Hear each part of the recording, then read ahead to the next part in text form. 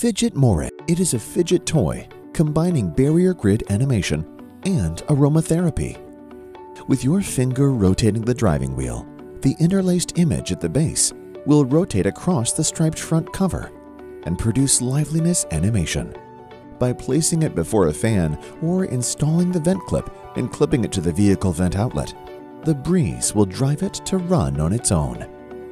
Back us now and get your Fidget Moire.